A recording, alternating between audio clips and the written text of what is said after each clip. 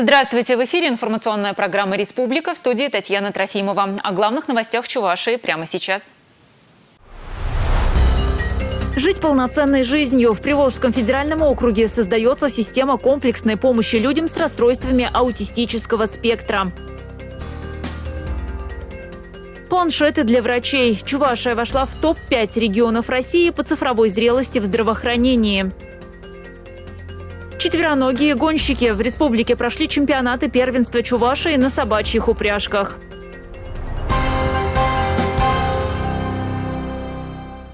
За прошедшую осень-зиму в отношении управляющих компаний и ТСЖ республики возбудили 116 административных дел. Причина – перетоп или, наоборот, холодные батареи в квартире. Почему это происходит и как изменить ситуацию, обсудили на еженедельном совещании у главы Чувашии. С начала отопительного сезона в Госжилинспекцию Чувашии поступило 287 звонков по вопросам некачественного теплоснабжения жилых помещений. Больше всего в Чебоксарах 126, из Канаша 57, из Новочебоксарска 46. Кроме того, жители жаловались и по телефону, и в соцсетях, и по каналам Центра управления регионом. Всего было выявлено 185 нарушений, 96 из которых связаны с недостаточным теплоснабжением в жилых помещениях, 28 – так называемый перетоп. Перетоп, конечно, как бы не здорово, но я думаю, что когда людям холодно, это более э, более дискомфортное состояние. Поэтому здесь очень важно э, вот эти все моменты учесть. Ну и, конечно же, вопросы, которые имеют кричащий характер, постараться как бы поставить задачу за подготовительный этап к следующему отопительному сезону нивелировать. Глава республики Олег Николаев поручил не только принять меры по устранению проблем, возникших в ходе этого отопительного сезона, но и проанализировать причины, по которым это происходит. Подняли и вопрос платежной дисциплины. Задолженность организации за поставку топливно-энергетических ресурсов по сравнению с аналогичным периодом прошлого года сократилась на 10%, но по-прежнему остается высокой. За газ более миллиарда, за тепло 704 миллиона рублей. Ульяна Пятакова, Павел Редков, Республика. Чувашия вошла в топ-5 регионов России по развитию цифровой зрелости в здравоохранении. Благодаря медицинской информационной системе, которую внедрили в республике, не только сократилось время приема пациентов, но и появилось больше возможностей правильно и в короткие сроки назначить лечение. Алевтина Баринова часто вызывает врачей на дом. С приходом весны обостряются хронические болезни. Обычно врач долго и подробно расспрашивает о недугах, но сегодня ей самой напоминают о всех предыдущих визитах в больницу и назначениях. Совсем недавно врачи, выезжающие на дом к больным, начали пользоваться планшетами с доступом к электронным медицинским картам. Мы можем сразу же на дому все данные ввести э, о пациенте, а, и тут же посмотреть все его предыдущие диагнозы, все его предыдущие вызовы и, соответственно, быстро скорректировать лечение. Мы можем тут же на дому создать все э, э, талоны на пациента. В результате время приема сокращается на 5-10 минут, а это возможность посетить еще 10-15 человек за смену. К Республиканской медицинской информационной системе подключены все больницы и врачи. На приеме идешь, там народу много, в очереди сидишь как-то Пока ты придешь на прием, зайдешь и забываешь даже другой раз. Хотела вот этот вопрос задать, думаю, и забыла. И такое бывает. А тут у вас скомплектовано все о моей истории болезни. Снимок, результаты анализов, проведенных в другой больнице. Теперь нет необходимости каждый раз брать с собой все исследования. Врачам доступен электронный вариант. Есть возможность а, посмотреть а, результаты а, посещения других специалистов, других больниц и все проведенные обследования тоже. Это позволяет нам быстрее все увидеть, быстрее все узнать, посмотреть и сделать уже соответствующие выводы, поставить диагноз, назначить лечение. При необходимости к лечению пациента может подключиться врач из другой поликлиники. Особенно это актуально для лечебных учреждений, где наблюдается нехватка узких специалистов. Это заочно, скажем так, по документации, по лабораторным исследованиям, по инструментальным исследованиям. Мы имеем возможность проконсультировать в любом лечебном учреждении а, не только Чувашской республики, но и на федеральном уровне. Впрочем, некоторыми возможностями единой информационной системы могут воспользоваться и жители республики.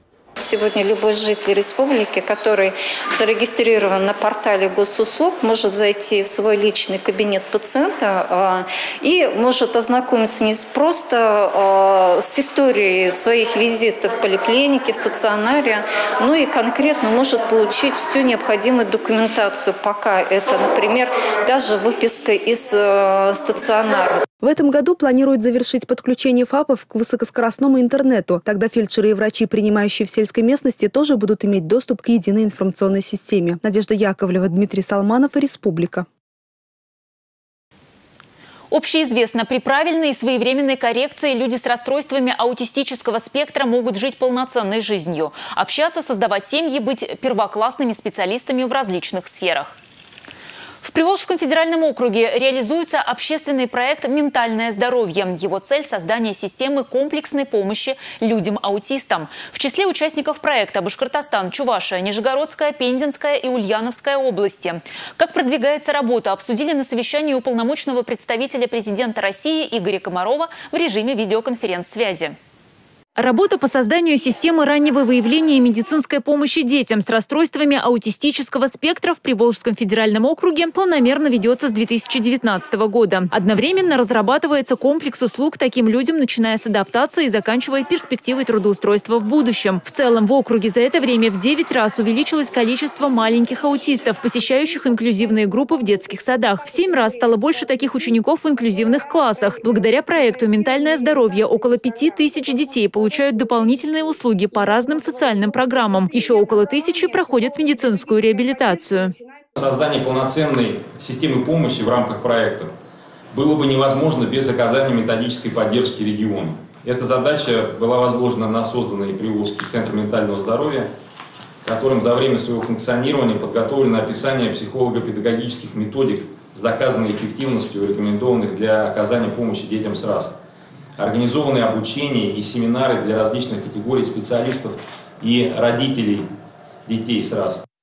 Чувашия одной из первых подключилась к окружному проекту «Ментальное здоровье». Раннюю диагностику у нас прошли 86% детей из целевой группы. Это лучший показатель в округе. Вместе с тем, полномочный представитель президента России Игорь Комаров отметил, что в большинстве регионов округа не выстроена маршрутизация пациентов с расстройствами аутистического спектра. Среди других задач увеличение числа педагогов, специализирующихся на работе с детьми с РАС, внедрение инновационных коррекционно-развивающих занятий в детских садах и школах. По мнению полпреда, базовые Базовые основы работы с такими людьми должны даваться во всех педагогических вузах и вузах, готовящих специалистов в сферах спорта, культуры и социальной работы, а значит быть заложены в федеральном государственном образовательном стандарте.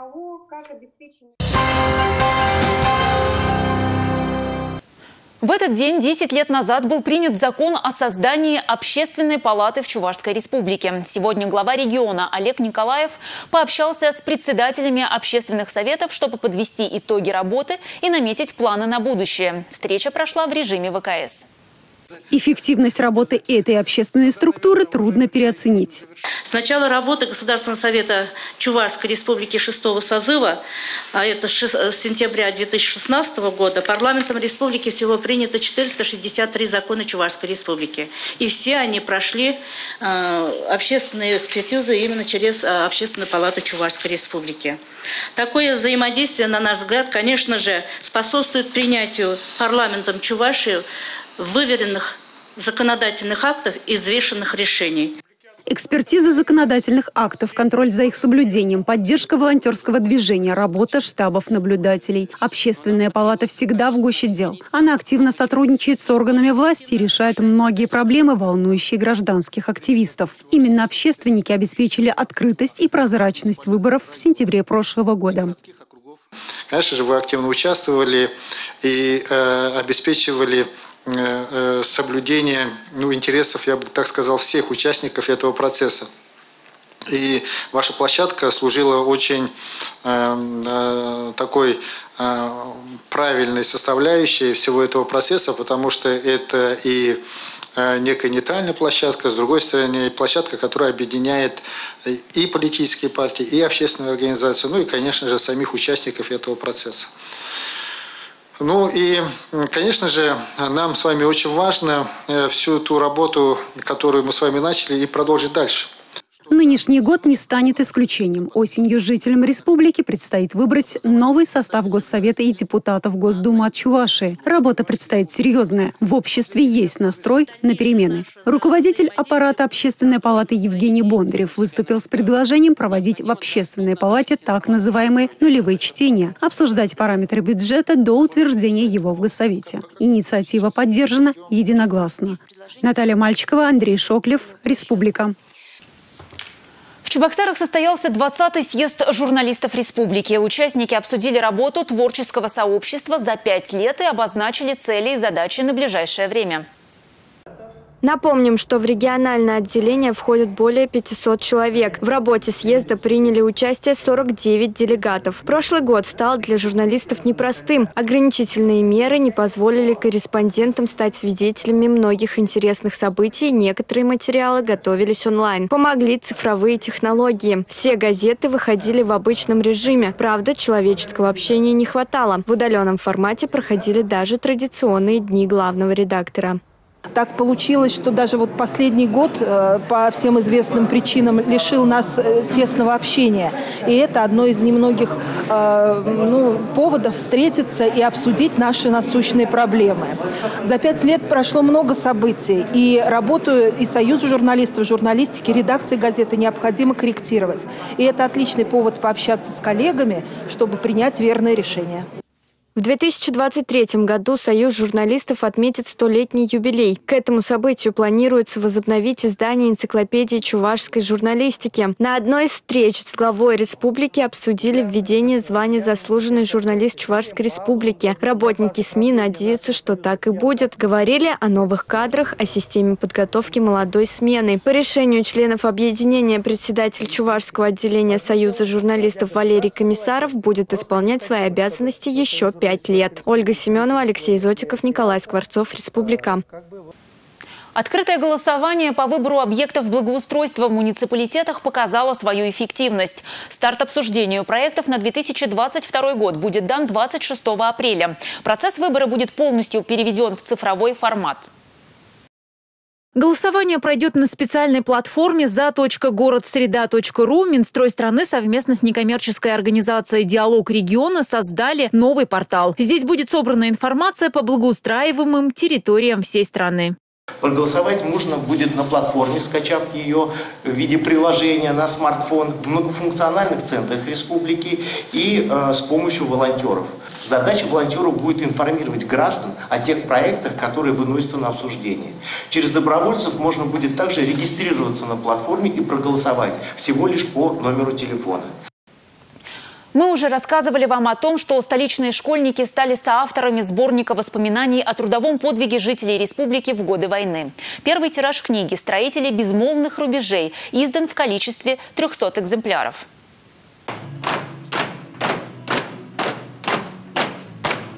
В прошлом году школьные поисковые отряды выезжали в различные районы республики, где в годы войны велось строительство Сурского и Казанского оборонительных рубежей. Школьники работали в архивах, музеях, искали эксклюзивные исторические факты, вели аудио и видеозаписи воспоминаний строителей оборонных укреплений, их близких. На днях авторы получили сборники. Их вручили в десятках столичных школ, ученики которых занимались этой темой. В сборник вошло 87 воспоминаний.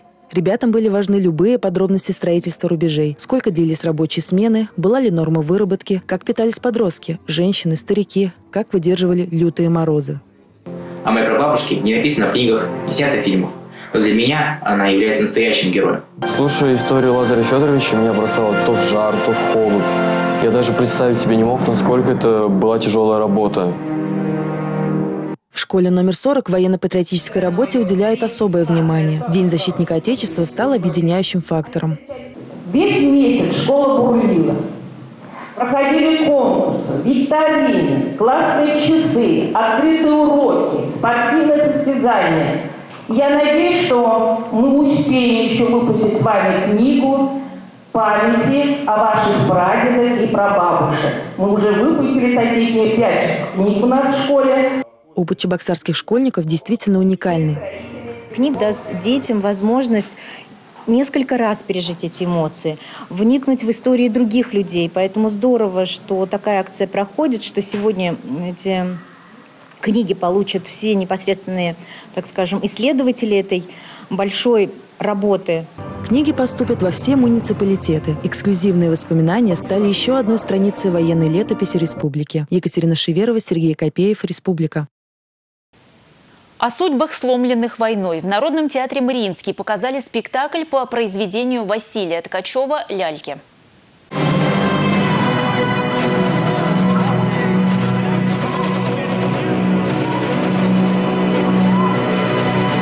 Здесь играют непрофессиональные актеры. Можно сказать, что они не играют вовсе, а проживают жизнь своих героев. Рассказать о судьбах молодого поколения в годы войны непросто, но режиссер Анжелика Сергеева нашла свои слова. Говорят, что о войне уже много сказано, что добавить, но нам кажется, что говорить нужно, помнить нужно – и быть благодарными самое главное. Наш спектакль «Ляльки» Василия Ткачева, он о судьбе женщин во время войны, о судьбе людей. А, судьбы ломались. Каждый выбирал ту сторону, которая подсказывала сердце. Показ драмы планировался к 75-летию Великой Отечественной войны. Однако сложная эпидемиологическая ситуация не позволила это сделать. В центре сюжета молодые матери Вера, Надежда и Любовь. Их мужья ушли на фронт, а родную деревню оккупировали нацисты. Для того, чтобы выжить, приходилось переступать через себя. По спектаклю а, с Надеждой случается такая беда, у нее крадут ребенка. Вот это очень тяжело, просто вы знаете, чисто по-матерински а, каждый раз ну, тяжело пропускать через себя вот эти все эмоции, потому что ну, скоро посидеть можно. К спектаклю шились костюмы, создавались интерьеры. Конечно, немаловажную роль в спектакле играют декорации. Например, прежде чем нарисовать образ Божьей Матери, художник-оформитель просил благословения в местном храме у батюшки. На постановках местного театра всегда аншлаг. Потрясающе, просто очень понравилось. Я на самом деле первый раз пришла.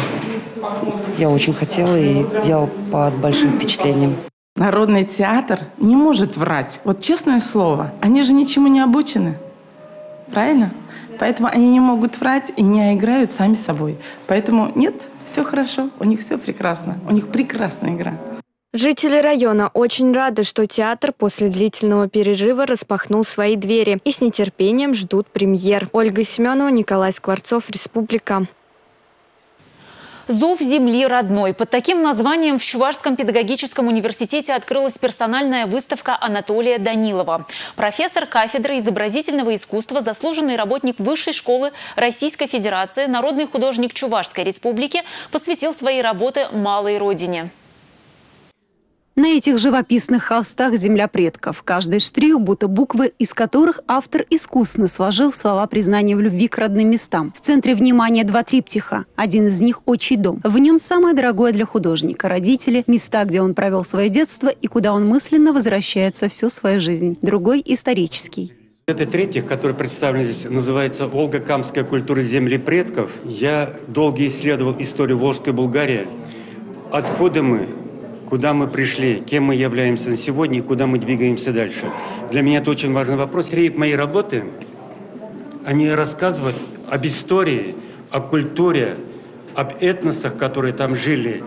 И они подтверждают нынешнее состояние нашего региона, Приволжского федерального округа, где уникально сочетается столько народностей, не говоря о том, что только чуваши живут 128 э, народность, э, народов. 50-я персональная выставка художника собрала самые интересные работы. Лейтмотив всех картин мастера – тема дружбы народов. Его работы имеют свой почерк и выделяются на международных, всероссийских и республиканских выставках. Выставку он организовал, э, пленер организовал, всероссийский, международный. Он дружит всех народов мира, да. Не зря в нашей республике Поволжье, да, это центр мира, где народы дружат. В этой дружбе, да, а большой вклад кладет Анатолий Васильевич Данилов. Благодаря вашему труду, творчеству, традиции не нарушаются уже многие десятилетия, и выставки нас каждый раз радуют. То, что Анатолий Васильевич передает в своих творениях, работах свое ощущение к своей земле, и при том через вот такие иконы, наверное, дорого стоит. Вот уже 40 лет после окончания художественно-графического факультета ЧГПИ имени Яковлева Анатолий Данилов передают секреты мастерства будущим художникам. Это вдохновляет, и хочется больше работать усерднее, чтобы когда-нибудь достичь такого же уровня. Анатолий Васильевич строит новые творческие планы. Вдохновение ему дает любимый город, родные пейзажи, талантливые ученики. Наталья Мальчикова, Павел Иритков. Республика.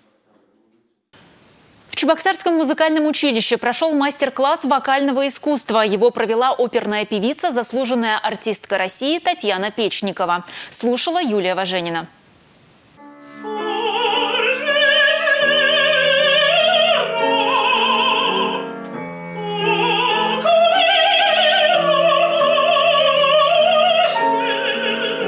Татьяна в опере Чайковского Евгения Онегин, Марфа из «Царской невесты» римского Корсакова, Адина «Любовный напиток Доницетти». Татьяна Печникова исполнила весь сопрановый репертуар. Ее знают не только в России, но и в ведущих театрах Европы. Вот уже семь лет Татьяна преподает в Российской академии музыки имени Гнесиных. Профессия у нас такая немножко закрытая в том плане, что нельзя показать вот э, на пальцах, да, что вот это нужно делать так, там, как пианисты показывают, можно снять с рук, э, и видно это. У нас не видно. И поэтому задача педагога очень сложная. Найти какие-то слова для того, чтобы э, студент выполнил то, что он хочет.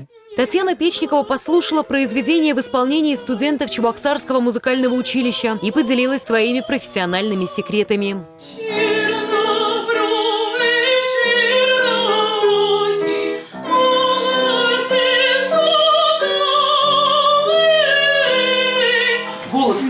Литься начинает. Когда ты его не просто то есть вот этими мышцами, которые ты удерживаешь, ты их сделал, задержала и немножко вперед повела этими мышцами, чтобы голос отсюда лился. Очень много э, полезного узнала, как расслабиться, как пустить звук, э, куда вот поступать, куда идти, очень много. Вот великолепный человек, она очень много прям рассказала, открыла глаза, можно так сказать. Снова посетить будущих оперных исполнителей Татьяна Печникова пообещала в свой следующий приезд.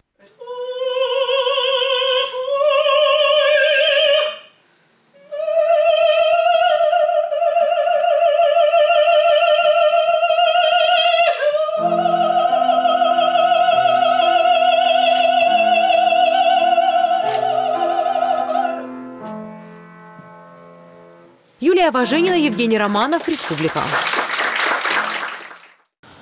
Команда под названием «Чебоксарские амазонки» собирается выступить в Челябинске на соревнованиях женской хоккейной лиги. Девушки тренируются самостоятельно, у команды нет пока даже официального статуса. Со спортсменками встретился депутат Государственной Думы России Анатолий Аксаков.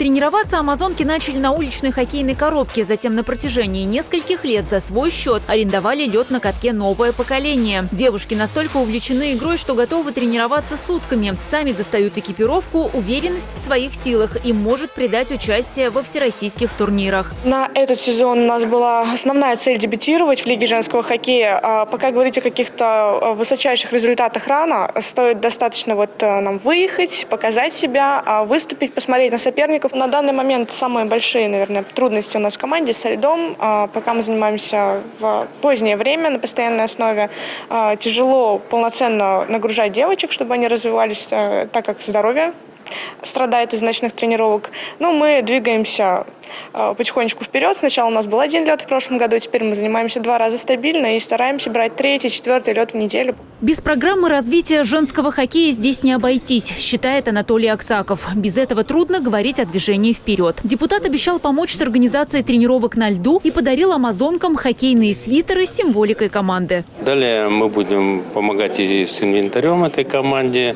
и будем помогать с тем, чтобы они получили, ну, скажем так, прописку при Федерации хоккея нашей республики для того, чтобы уже могли вполне официально участвовать в разных мероприятиях, соревнованиях и дальше уже привлекать молодежи как можно больше.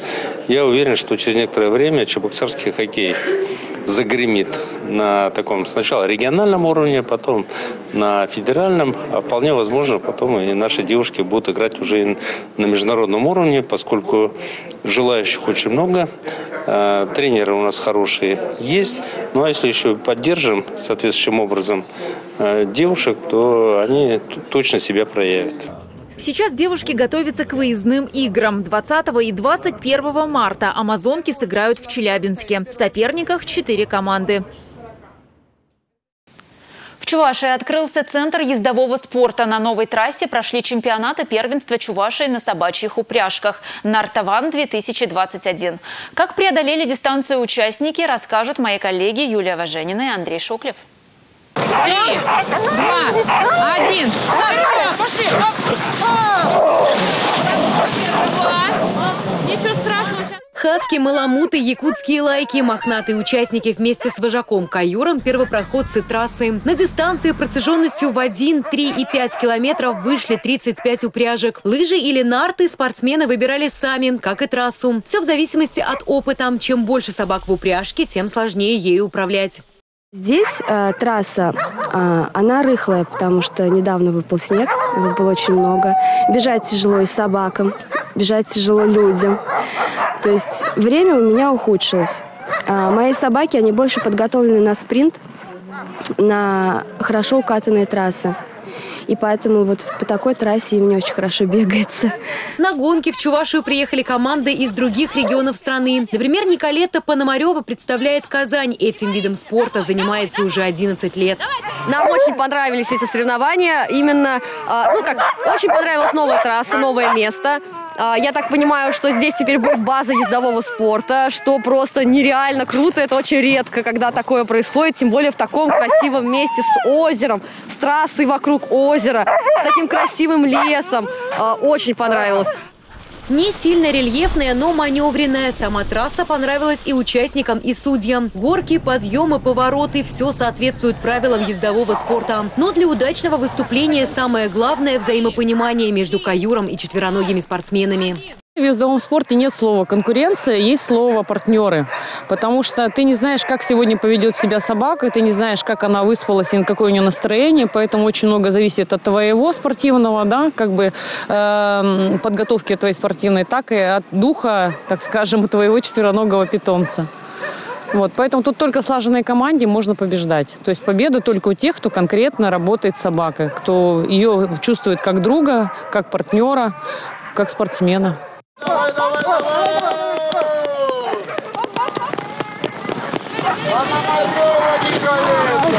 Молодцы! Юлия Важенина, Андрей Шоклев, Республика. Это были главные новости первого дня весны. До свидания. Увидимся в эфире национального телевидения Чувашии.